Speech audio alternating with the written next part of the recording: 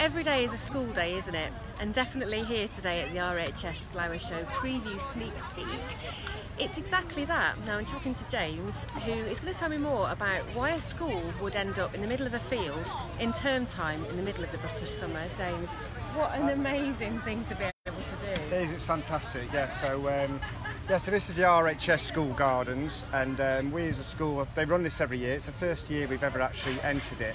And uh, so we're here from Knutsford Academy, and we uh, entered into applying or applied to have a school garden uh, back in ooh, uh, November last year. Uh, we're successful with our application, and uh, and from that we really we wanted to um, really develop and grow gardening and horticulture at the school. It, it got a little bit quiet on that side of things, so we wanted to use something as a sort of a kickstart to get it up and running. So here we are after sort of six months culmination in work and our students, we've got year seven students, we've got a team of year, year seven students working away here. We've been planting all these plants, so the majority of our plants are grown from, from seed, so it's been a massive learning experience for, for us all, and we're here today planting them.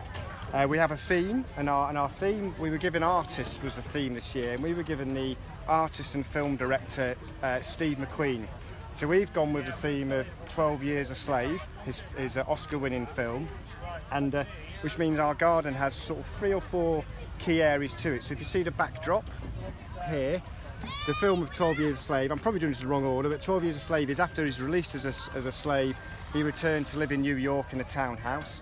Uh, we have a vegetable patch because when he was, uh, when in the film Solomon, who was the slave, they had to grow their own vegetables to survive. So we have a vegetable patch at the back.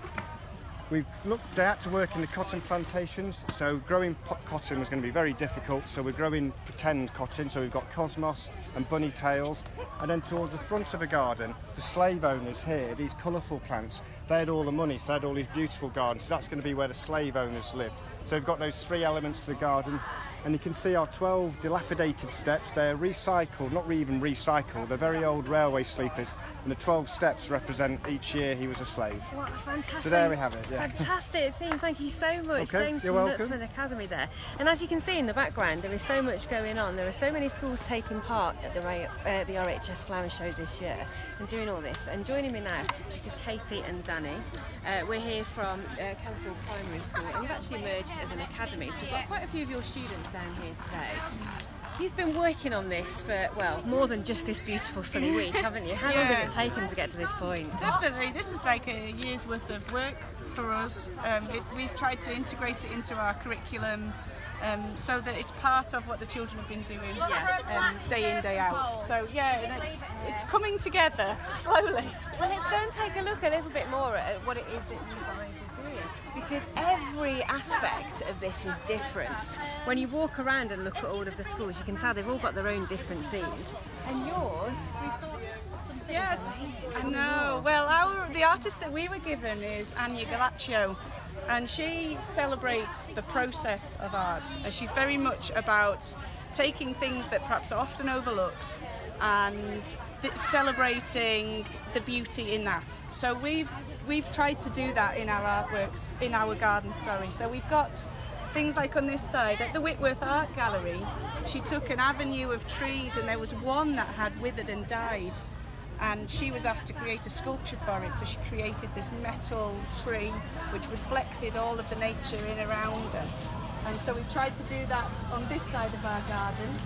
Um, and just trying to incorporate as many of the elements of her as an artist in the garden. We've done lots of work about watching um, what happens to plants as they die and then um, celebrating what how things that are dead in the garden help us. So we've we've made compost. Um, we've made recipes for compost. The children have explored what things work in compost and what doesn't.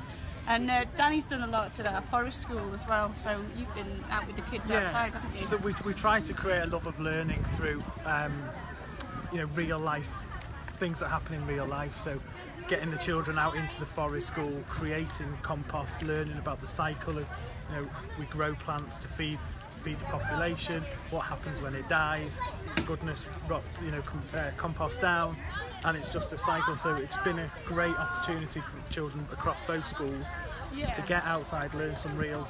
And we've real- got things like nettles in our garden, you know, which usually as a gardener you're clearing out, but we've been trying to celebrate what you can do with them, and they've made nettle tea and nettle bunting, Yeah. and so yeah, we're celebrating the unsung heroes in a garden this year. I really like the idea of that. Danny and Katie, thank you so much. And as you can see, kids really love to get out and about. They love to do something outside the classroom, but as I think we've already found out, the teachers love it just as much. For all the coverage that you want for the RHS Flower Show this year, make sure you keep it here on Facebook, check out our social media, Twitter, Instagram, and of course for full coverage, we are so-cheshire.co.uk.